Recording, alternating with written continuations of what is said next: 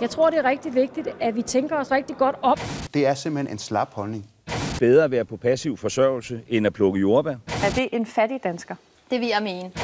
Om ydere og nydere. Fordi sådan er det jo. Her er jeg, et af velfærdssamfundets trækdyr. Sådan plejede jeg ikke at se mig selv, men på det sidste er jeg blevet pinligt bevidst om, at jeg knokler, for at andre kan være på dagpenge eller kontanthjælp. Jeg har lært, at velfærd i Danmark er for alle, ikke noget man skal gøre sig fortjent til. Men nu er jeg begyndt at tænke over, hvad jeg egentlig får for mine skattepenge. Jeg har diskuteret kontanthjælpskarina og været fascineret af politikere, der vil give de ledige et los. Det er ikke rationelt, siger eksperter. Jeg ved det. Det danske dagpengesystem er verdensberømt for sin effektivitet. Men jeg kan se, at det også skaber frustrationer, fordomme og forarvelse. Jeg vil gerne forstå, hvorfor. Jeg står her i Københavns Nordvestkvarter. Jeg er taget herud for at teste mine personlige fordomme om kontanthjælpsmodtagere. Det var sådan, at der for noget tid siden kom en undersøgelse, der viste, at de allerfærreste danskere kender en kontanthjælpsmodtager, og at det måske kunne være en af grundene til, at der er så mange fordomme om de ledige i Danmark. Jeg skal møde Robert, som en stor del af sit voksne liv har været på passiv forsørgelse, fordi han ja, ikke gider arbejde. Hej Robert. Hej, hej. Tak fordi du vil være med. Ja, selv tak. Tag mig lidt rundt i din hverdag her. Ja. Jeg vil gerne indrømme, at jeg har haft relativt nemt ved at gå i skole og, og sidde og høre efter og svare rigtigt. Så da jeg startede på universitetet i sin tid, længe inden jeg begyndte at læse filosofi, øh, der fik jeg en raptus med, at jeg var nødt til at stille krav til mig selv. Så jeg begyndte at læse til kant polit, da jeg i sin tid startede med at læse. Jeg så allerede i 90'erne, at Kina, øh, de kommer nu. Så i 1996 begyndte jeg at læse kinesisk. Øh, jeg skal gerne indrømme, det var ret svært. Jeg bliver nødt til at spørge dig, altså sådan, øh, jeg som skatteyder Ja. er jo via velfærdssamfundet med ja. til at betale for, at du vælger at blive på kontanthjælp. Øh, Prøv at forklare mig, hvorfor at, at det er okay. Altså, når, når, jeg, når jeg siger, at det er okay, at tage det valg, så gør jeg det jo ikke som samfundsborger. Jeg siger jo ikke, det er okay som samfundsborger at agere sådan og sige, jeg vil ikke deltage, jeg vil bare forsørges passivt. Det er ikke okay som samfundsborger. Som menneske står jeg i et valg nede på jobcenteret. Vil du tage det her lortejob som visevært af McDonald's til 100 kroner i timen, eller vil du fortsat være på kontanthjælp? Så siger han, ja, okay, det job det er så dårligt, og så ringe, at så vil jeg hellere fortsat være på kontanthjælp. Så må samfundet kraftet med komme med et tilbud, der modsvarer de evner og de kræfter, jeg har. Altså, så vil jeg gerne lægge en indsats. Hvordan reagerer de på det? Altså, nogle af dem, de bliver sådan lidt, de bliver fornærmet på egen vejen, fordi de selv synes, at de har et job og er gode samfundsborgere. Og andre, de kan jo godt forstå det og respektere, at, jeg er et menneske, der, der valgt at sige, at det er mit valg at leve på kontanthjælp, hvis jeg ikke gider at have et job. Altså, så kan jeg vælge at være på kontanthjælp. Så må jeg jo bare følge deres regler. Men altså, det nemmeste i hele verden, det er jo at få at vide, hvor man skal møde op, og så møde op. Et ølglas. Øh, hvorfor serverer du kaffe i ølglas, Robert? Øh, jeg har kun to kaffekoffer, og den ene bruger jeg, og den anden var mere beskidt end ølglasset. Øh, så jeg valgte at vaske ølglasset af til dig, Jacob.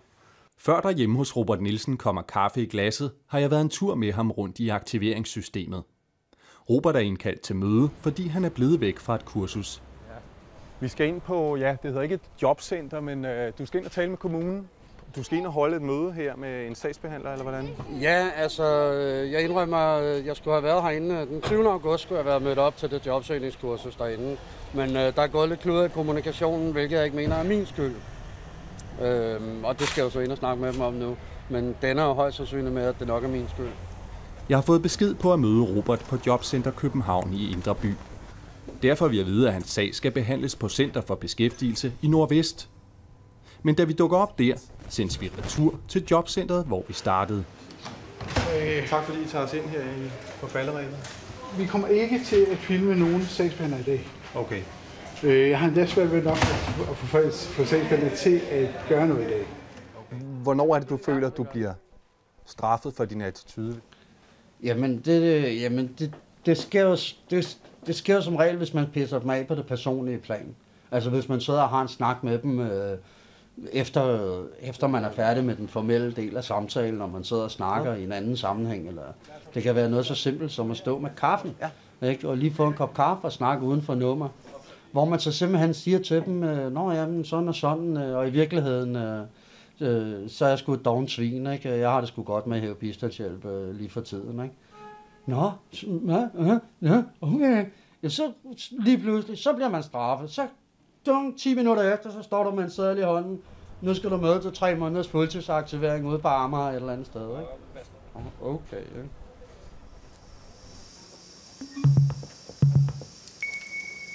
Som journalist på DR2 er det ikke så tit, jeg taler om mine følelser, og da slet ikke her i fjernsynet. Men jeg vil godt sige, at jeg føler stor sympati for Robert. Han er sådan en type, jeg vil elske at have som kollega. Samtidig er jeg forarvet over, at en mand som ham går ledig. Det er et kæmpe spild af samfundsressourcer. Jeg kan bare ikke helt finde ud af, om det er Roberts skyld eller samfundets. Simon Bauer, du er kommunikationschef i den A-kasse, der hedder Min A-kasse. I har skudt en kampagne i gang, der skal højne respekten for de ledige i Danmark. Ja. Hvorfor er der behov for det? Jamen, vi synes øh, i Min A-kasse, at, øh, at, at der er behov for, at vi taler anderledes om mennesker uden arbejde. Virkeligheden er jo den, at, øh, at, at det kan være dig, det kan være mig, øh, som står uden job. Øh, der er næsten en halv million mennesker hver år, som kommer i den situation, at de på et eller andet tidspunkt hæver øh, kontanthjælp eller dagpenge. Så det er sådan set meget bredt, det her med at stå uden arbejde. Og folk er lige så forskellige, som, som vi er her i studiet, og, og som, som, som Robert, som vi ser her. Men hvis det ikke er, undskyld, jeg ind, hvis ikke der er respekt, hvad er der så nu? Det der er nu, det er en, øh, en individualisering af det at være øh, arbejdsløs, hvor man siger, det er sådan set øh, primært din egen skyld. Øh, du burde tage dig sammen, øh, hanke op i dig selv, gå ud og finde det arbejde, som, som der er derude, hvis du, hvis du bare vil nok. Og øh, det harmonerer ikke med den virkelighed, som vi møder i, øh, i min A-kasse. I foreslår, at vi skal kalde de ledige for jobjæger, Jobjæger, i stedet for? Ja, præcis. Hvorfor det? Fordi det bedre fortæller historien om, hvad det er, langt de fleste ledige gør. De bruger nemlig deres kræfter på at jage job. Øh, langt de fleste har én drøm, et ønske, og det er at komme tilbage i arbejde så hurtigt som muligt. Nu er du blevet introduceret for Robert Nielsen her for et øjeblik siden. Er, er, han jobjæger? Jeg tror ikke, Robert vil falde ind under kategorien jobjæger, og jeg tror heller ikke, Robert er, er, er den typiske leder i Danmark. Øhm, der er ikke en halv million mennesker som, som Robert. Det kan vi vende tilbage til. Katrine Stampe Andersen, du er kant mærk øh, debattør. Øh, Hvordan øh, vil du have det med, eller hvordan har du det med, at du som skatteyder er med til at betale for en kontanthjælpsmodtager, for eksempel som Robert, vi lige så? Jamen altså grundlæggende kan jeg da godt forstå, at Robert han ikke synes, det er særlig sjovt at arbejde på, Mac- på McDonald's. Der er bare lige det, at han øh, ikke vil det, øh, og han lever for andre folks penge. Og så længe man lever for andre folks penge, så kan man ikke tillade sig andet end at tage det job, som, som er. Så, så jeg, øh, jeg synes, det er helt rimeligt, hvis han har lyst til at øh, lave alt muligt andet end at arbejde. Øh, jeg vil bare ikke betale til det. Du har skrevet i et debatindlæg, at hvis velfærdssamfundet var et ægteskab, så var vi virkelig skilsmissetroede. Øh, hvad er det, du mener med det? Altså, jeg synes, øh, og det synes jeg også, Robert er et, et meget godt billede på, at vi er nået til et sted nu, hvor velfærdsstaten er kammet over. Øh, I hvert fald i sin nuværende form.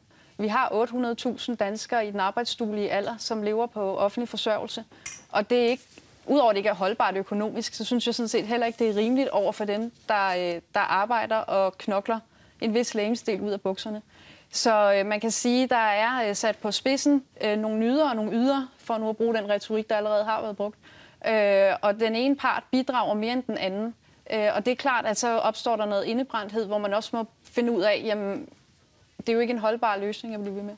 Og netop den her indebrændthed, alle de følelser, som også er i cirkulation i politik, vi fik nogle klip i begyndelsen af udsendelsen, det er det, jeg gerne vil, vil tale med jer tre om. Rune Lykkeberg, forfatter og journalist, redaktør på Dagbladet Information. Du er jo sådan en fyr, du øh, flyver rundt i den analytiske helikopter det meste af din arbejdsuge. Men har du følt noget i den her langvarige debat om de ledige? Ja, først og fremmest er man jo ekstremt nysgerrig på det store skifte, der sker. Fordi det der med at kalde folk for ydere og nydere, og fremstille det som om, at der er nogen, der arbejder hårdt, og så er der nogen, der har et, øh, et nydende, mageligt fritidsliv. Og dem, der arbejder hårdt, subsidierer de andre. Det er jo et standpunkt, vi har kendt i 30-40 år, ikke helt tilbage fra Glistrup kom frem. Det interessante er, at det, der var et relativt marginalt standpunkt, og man i mange år sagde, at det var lidt uanstændigt at sige det, og det var egoistisk, og det var småborgerligt, at det pludselig er blevet sådan en ganske almindelig måde at, at, at se tingene på. Og det er jo altid interessant, når, når en måde at se på, som har været stigmatiseret og lukket ud, at det bliver den almindelige måde at se uh, tingene på. Så der, der, der, der, der prikkes hul på en, en byld, så at sige, der er tabu, der bliver brudt. Men jeg spurgte egentlig, om du selv har følt noget. Diskuterer du, Karina med, med dine venner i Jamen, den kreative klasse? Men, men, men pointen er, Jacob, at, at altså, nysgerrighed og intellektuel interesse, det er jo også en form for følelse og en form for, for engagement. Og man kan sagtens føle, at det er for dårligt og det er for meget. Men i første omgang, der handler det lidt om at forstå betingelserne, hvad der er for dårligt og hvad der er for meget. Og det, man kan sige, som er...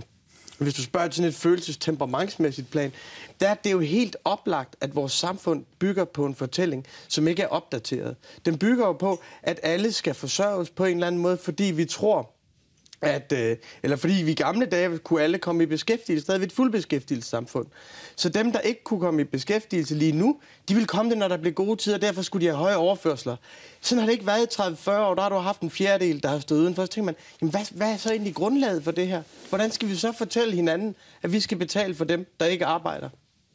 Simon Bauer, lige nu er der jo en masse mennesker, der glæder sig over, at der er blevet slået hul på den her diskussion, at det er blevet tilladt at diskutere de lediges indstilling, det er blevet tilladt at diskutere, hvad får vi egentlig for vores skattepenge. Så er der en anden fløj, der siger, at det er en lidt misforstået debat, mm. fordi der er for eksempel fordele i høje øh, overførselsindkomster. Hvor står du i den diskussion? Jamen, jeg tror, man skal gøre sig klart, at, øh, at, at vi ikke enten er yder eller nyder. Vi er begge dele i det her samfund. Men undskyld, der er ja. jo vel en meget stor gruppe af langtidsledige folk, der nærmest hænger fast i det her system. Det er vel dem, der primært tales om i de her Karina-diskussioner? Det er dem, der tales om, og det vil sige, at man fokuserer på en minoritet. Altså langt størstedelen af de mennesker, som ikke har noget arbejde, finder et arbejde relativt hurtigt, og det vil sige, at, øh, at man fokuserer og jo også indretter systemer på baggrund af, hvad hedder det, af, af en minoritet når vi snakker om, hvem der ikke har noget arbejde i deres samfund. Langt de fleste, de, øh, de kæmper for at få et job, og langt de fleste kommer i job ret hurtigt. Der er jo en enorm omsætning, øh, jobomsætning i det her samfund. Så dit svar, det er, det er en lidt misforstået diskussion. Hvad siger du til det, Nå. Katrine? Jamen altså, jeg synes egentlig, at den her diskussion øh, sådan rammer meget godt ind med, hvad problemet er med velfærdsstaten. Og det er, at vi er fedtet ind i hinanden. Øh, og det gør også, at vi nu sidder helt utidigt og diskuterer, om nogen er yder eller nyder. Altså, det er, jo, det er jo sådan set det, der er den bagvedliggende præmis, når man lever i en velfærdsstat, det er, at vi, øh, at vi betaler til hinanden, og derfor begynder vi berettiget at have en legitim holdning til, hvad andre laver og hvad de ikke laver. Øh, der ville det måske være lidt nemmere, hvis vi blev viklet lidt ud af hinanden, så vi ordnede os selv, i stedet for at sidde og ordne andre og ordne Robert lige nu. Men så længe, at, at vi betaler til hinanden, så øh, er vi altså også afhængige. Mit afkast er afhængig af andres adfærd. Og derfor er vi også i en situation nu, hvor jeg er helt med på, at tonen er temmelig, øh, har været temmelig stejl. Og det synes jeg også er uskyndt at høre på. Lykkeberg, når jeg øh, følger den her debat, og det har jeg gjort intensivt, så er det som om den kører i to spor. Der er et spor, der er alle de der debatstrenge, diskussioner på politikens hjemmeside om akademikere skal arbejde i netto, diskussionen om Karina, hvor folk diskuterer også ude i de små hjem. Og så er der diskussionen, som velfærdsøkonomerne og politikerne fører, som netop handler om det der med, at vi er alle ydere og nyder på et tidspunkt, og den danske velfærdsmodel er meget konkurrencedygtig, og folk rejser hertil for at studere den. Øh, er det simpelthen, øh, taler de forbi hinanden, fordi de, øh, den ene part taler med følelser, og den anden taler økonomisk rationelt? Jamen, der er jo altid flere sider. Altså, der findes jo ikke noget, som er samfundet. Der er ikke et sted, hvorfra du kan ud og sige, det er samfundet, og sådan skal det være. Der er forskellige erfaringer og forskellige perspektiver på det. Du kan jo godt have en statistisk gengivelse af, hvad der er holdbart og hvad der ikke er holdbart. Og du kan sagtens sige, hvis velfærdsstaten i sin nuværende form skal overleve på lang sigt med øh, fælles universelle institutioner, så bliver vi nødt til at have et lavere udgiftsniveau. Det kan du godt sige, det er det økonomisk holdbart. Men så kan du sige, er det socialt holdbart, at der er nogen, der skal føle, at de skal finansiere andre, som ikke laver noget. Du kan også vente om at sige, er det socialt holdbart, at der er en masse mennesker, der er så nedværdiget, som kontanthjælpsmodtagere Så der er forskellige former for bæredygtighed. Det solidarisk bæredygtige er ikke nødvendigvis det økonomisk bæredygtige. Derfor har vi jo også forskellige positioner i spil. Økonomer, folk som Joachim B. Olsen, der kommer ud fra en anden position i virkeligheden, vi er vant til. Så har vi forskellige administratorer. Helt kort, hvis det tabu er brudt, hvad er det så for en tabu? I den her diskussion? Jamen, jeg vil ikke sige, at det er et tabu, der er brudt. Det er det vendende standpunkt, der har skiftet fra at være, at du er umenneskelig og uanstændig og egoistisk, hvis du problematiserer overførselssystemet, som så er blevet til det dominerende standpunkt. Man kan sige, at det Fogh sagde som ung, og som han gjorde meget ud af at tage afstand fra, det mente han slet ikke det med slavesindet. Det har pludselig vist sig at være den almindelige måde at se det på. Må jeg må jeg ikke bare lige sige? Vi, vi, lad os se et klip mere med Robert, hvor han netop øh, kommenterer den her aktuelle debat. Hvis jeg skulle være en god i anførselstegn samfundsborger, at så skulle jeg påtage mig et hvilken som helst job. Og det er det, politikerne siger. Jamen, så må man rejse. Så skal jeg tage brug af halvanden time transport for at tage et rengøringsjob om morgenen et eller andet sted ude i provinsen, ikke? fordi vi skal være gode samfundsborgere. Og der, der, siger bare, der står jeg af. Det kan godt være, at det bliver for langt af mig, så siger jeg bare nej. Katrine Stampe, det Robert siger, det er, at som samfundsborger kan han godt forstå nogen, rynker lidt på næsen af, at han siger nej til det job, han bliver tilbudt. Men det handler også om menneskelig værdighed for ham. Hvad siger du til det? Jamen, jeg er helt med på, at det ikke er sjovt at stoppe og tage et rengøringsarbejde eller arbejde på McDonald's. Men der er bare lige den ting, at det er, at han lever for andre folks penge. Og så længe, at man gør det, så er det mit take på det, at så bliver man nødt til at, øh, at tage det job, der er. Men, men, men i og med, altså, dybest set, så synes jeg da bare, at han skulle have lov til at gøre det, han vil. Men så vil jeg bare ikke betale til det. Simon Bauer, jeg har jo også tænkt lidt over det her med at arbejde på McDonald's. Mm. Som du siger, det kunne også ske for mig. Øh, jeg ville også have meget svært ved at se mig selv som pedel på McDonald's til 100 i timen. Så jeg kan godt følge Robert. Øh, har du det Men... sådan, synes du, det er moralsk okay at sige nej til den type job? Altså man kan sige, systemet i dag er jo bygget op på rettigheder. Det er reglerne. Hvad synes du selv? Øhm, jeg synes, hvis man, hvis man har taget en lang uddannelse, hvis man er uddannet journalist, eller hvis man er sygeplejerske, så forstår jeg godt, at, at det ikke er det første, man søger, det er jobbet på McDonald's. Jeg kan godt forstå, at man ligesom kaster sig over, hvad der måtte være ledige sygeplejestillinger eller journaliststillinger. Og det tror jeg også er det, som på, på lang sigt er det bedste. Men det er, jo, det er jo ikke det, der er problemet. Det er jo, altså, der er jo ikke øh, 25 McDonald's'er, som ikke kan åbne mandag morgen, fordi der ikke er nogen til at, hvad hedder det, at stå bag kassen. Altså, det er jo ikke det problem, vi slås med som, som samfund. Vi slås med, at der ikke er nok arbejdspladser. Øh, men og der var det sådan men... lidt en pseudo-diskussion om, hvad hedder det, om, om der findes en, en stor gruppe akademikere, som ikke er beredte til at tage al den ufaglærte arbejds... Øh, alle de mange ufaglærte arbejdspladser, som, som i virkeligheden mangler. Du siger pseudo. Den er her i hvert fald. Den har fyldt meget, også her hen over sommeren, øh, ved danskerne plukke jordbær eller ej. Jeg skal lige bede om at få nogle øh, kort ind her, der illustrerer problematikken. Øh, det er nogle kort, øh, som illustrerer øh, job. Det er svært at få danskere til at tage. Her er en rengøringsassistent. Her er en pizzabager. Og her til sidst har vi en taxachauffør med solbriller. Det er eksempler på job, som Arbejdsmarkedsstyrelsen har påpeget er svære at besætte, øh, Rune. Og det gøder jo så den her diskussion om, øh, bør der være en nedergrænse, eller er det okay, hvis folk opererer med sådan en nedergrænse for hvilket job de vil påtage sig, som Robert for eksempel. Hvad synes du om det? Jamen, jeg synes, det er ekstremt interessant. På den ene side, så har du en velfærdsstat, hvor du siger, en stor triumf for velfærdsstaten, der du har etableret et værdigt eksistensminimum. Der du siger, at hver menneske har sin egen værdighed i sin egen ret, og skal ikke underordnes andre. Du har nogle rettigheder, og du har nogle pligter. Ikke? På den anden side, så har man da også sådan, at der er nogen, der forsørger, og andre, der bliver forsørget. Ikke? Og vi kan jo se historisk, at dem, der forsørger, har fået større og større frihedsgrader i de sidste 30 år. Dem, der bliver forsørget, har fået mindre og mindre frihedsgrader. Ikke? Så der er en udvikling, der han er imod. Og det, der er uafklaret, ikke? det er, hvad er den personlige værdighed? Hvad har du ret til at sige nej til, og hvad har du ret til at sige ja til? Og det bliver ikke rigtig diskuteret. Ja, det Simon prøvede at sige før, da jeg afbrød ham, det var, at øh, der er jo sådan set ret klare regler. Man skal tage det, man bliver tilbudt. Øh, hvorfor har vi så Jamen, den her der diskussion? er ret regler, men når du har, du har en administrativ virkelighed på den ene side, hvor du har strammet reglerne, gennem 30 år. Du har, vi har været igennem en storm af arbejdsmarkedsreformer siden starten af 80'erne. Ikke? Der har du på den ene side den, og så har du på den anden side folk, jamen der sker ikke noget, og velfærdsstaten sejler mod sin afgrund. Du har en diskuterende virkelighed på den ene side, og du har en administrativ virkelighed på den anden side. Og de to ting bliver jo nødt til at følges ad, så der er opbakning for de borgere, der betaler til administrationen og lever med den. Katrine, nu sagde du, at man bør påtage sig de job, som øh, man bliver øh, udpeget til. Øh, hvordan ville du have det med at arbejde som taxachauffør, rengøringsassistent eller pizzamand, MK? Det ville i hvert fald ligge langt fra det, det arbejde, jeg har nu, men det kunne jeg jo blive nødt til. Øhm, men må jeg ikke bare lige sige det der med, at vi har fået mindre frihed for, for dem, der bliver forsørget? Altså, mig bekendt er skattetrykket steget ret meget, også selvom vi har haft nogle skattelettelser. Øh, og aldrig nogensinde har vi betalt så meget i skat, som vi gør nu. Så det der med frihed... Det, sige, det, det er jo meget interessant, hvis man ser magtudredningen. Magtudredningens konklusionsbind, der siger de, at den store udfordring i det her samfund, det er, at rettighedsdiskussionerne øh, handler om økonomisk performance efterhånden. Og der siger de, at den nederste fjerdedel er blevet mere og mere øh, presset i deres rettigheder og i deres overførsler og i hvad de har adgang til, mens vi andre har jo, altså det er jo oplagt, at vi andre har fået større frihedsgrader. Men, men, men det Katrine lægger op til, det er vel, at vi bliver nødt til at diskutere omfordeling, hvis vi skal have lagt den her debat øh, ned i et mere øh, eller mindre skingert leje hvis man skal imødekomme nogle af de følelser og frustrationer, der er i velfærdsdebatten. Men det skænger er jo ikke så slemt. Der, der er jo nogle passioner på spil, og der er forskellige typer erfaringer. Derfor, hvis du lytter til debatten, kan du høre, at det er fordi, der er forskellige billeder af, hvad der er retfærdigt. Du skal diskutere omfordeling, men du skal også diskutere, hvad er egentlig det hele, den sociale kontrakt? Hvad er det for et fællesskab, der binder os sammen? Hvad er vores forpligtelser overfor dig? Hvad er vores rettigheder?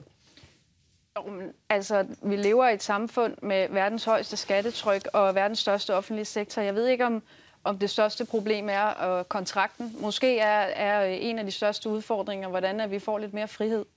Ja, men det er jo en meget, meget banal definition af frihed at sige det der, at man ligesom kan udregne frihed som funktion af, af skattetryk, som om det var sådan en ciffer på, på et display. Du kan se, at den offentlige sektor faciliterer frihed på den ene side, og faciliterer ufrihed på den anden side. Det er for banalt at stille det op på den måde. Simon, øh, nu når vi taler værdighed, og lad os lige mm. runde den af, så er der jo nogen, der øh, måske rejser meget ud i verden, som siger, jamen i virkeligheden så ligger der mere værdighed i at stå og fylde poser nede i Netto, end at være på øh, passiv ydelse, kontanthjælp. Altså at Karina egentlig burde stå og pakke poserne for os i et supermarked, snarere end at sidde øh, passivt. Nu kender vi ikke hendes situation i detaljer. Kan du forstå, at der er nogen, der har det blik på, på den her diskussion? Øh, ja, og jeg tror i virkeligheden også, at, øh, at det er den samme, øh, det samme blik og de samme holdninger, som langt de fleste mennesker uden arbejde har. Øh, før vi gik i gang med vores kampagne, der spurgte vi lidt til, hvordan folk oplevede det ikke at have et arbejde. Og øh, de resultater, vi fik, var ret, øh, ret markante. Øh, to tredjedel øh, følte sig mindre værdige, på grund af, at de ikke havde et arbejde. Øh, over 70 procent oplevede, at de blev mødt med fordomme fra samfundet, øh, på grund af, at de ikke havde, havde et arbejde. Og 22 procent havde faktisk i perioder holdt sig væk fra sociale arrangementer for at undgå spørgsmålet, hvad går du så og laver? Så jeg tror, at langt de fleste mennesker har det på præcis den måde, at, øh, at det ikke at have et arbejde er et, er et enormt tab. Et enormt tab af identitet og værdighed. Og derfor er det, som de bruger deres kræfter på, det er at komme, at komme i job igen.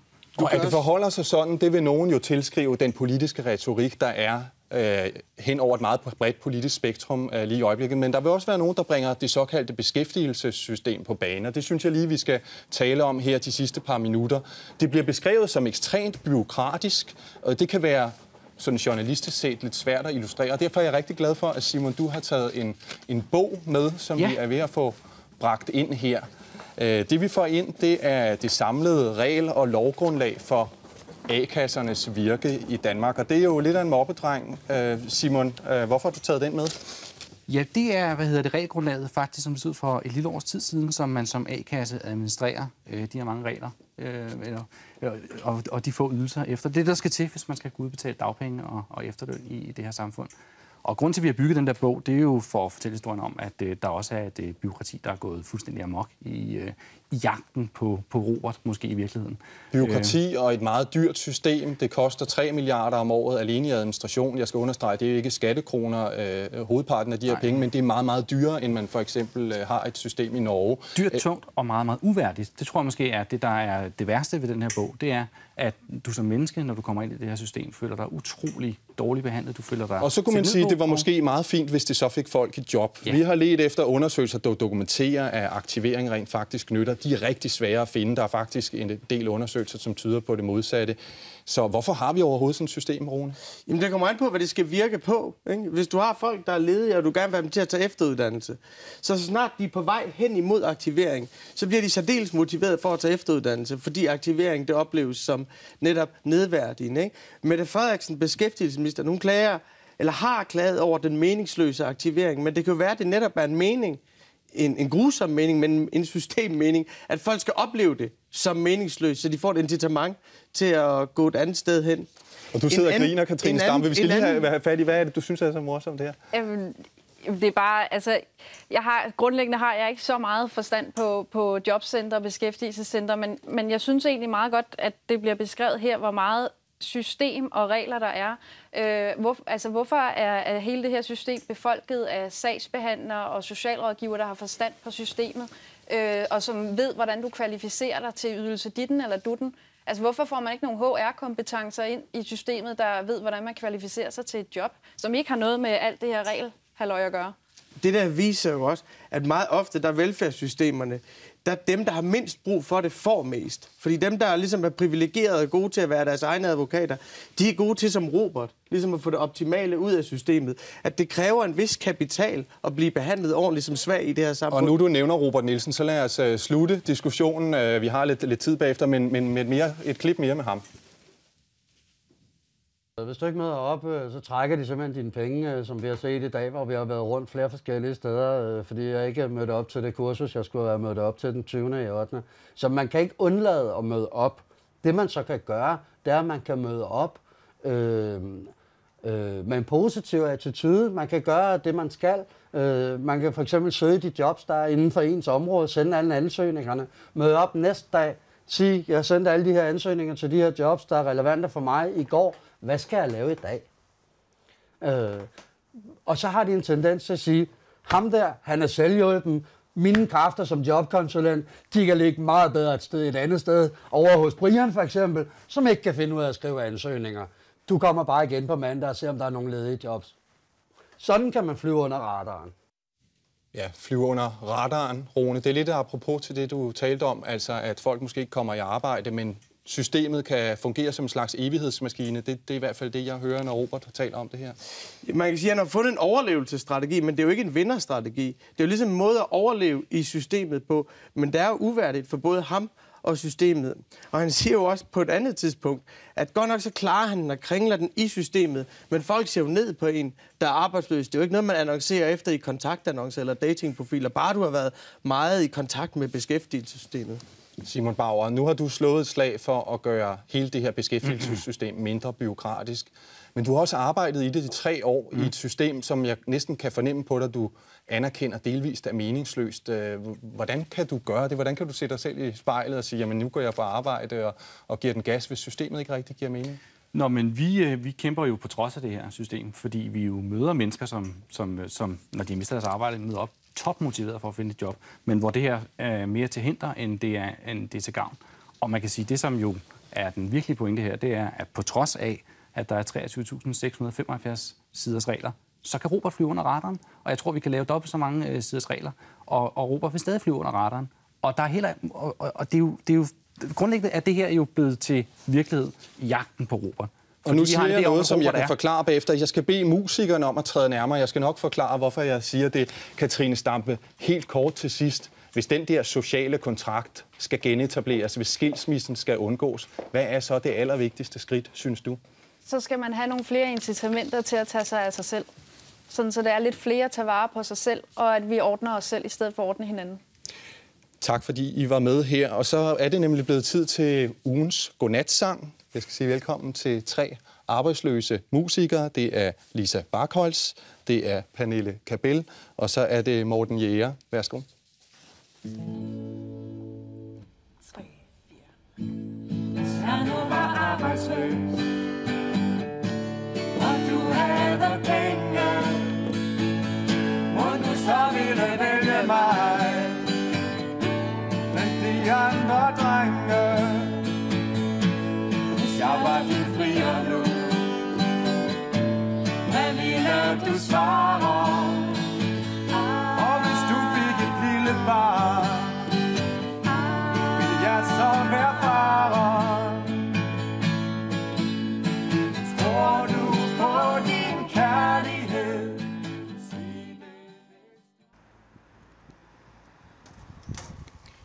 Nå, det gik da vist meget godt. Jeg håber altså ikke, at Robert bliver skåret i sin kontanthjælp, fordi han var med i vores program. Eller tænk, hvis han bliver den nye kontanthjælpskarina. Nå, jeg fik da heldigvis sagt, at jeg godt kan lide ham.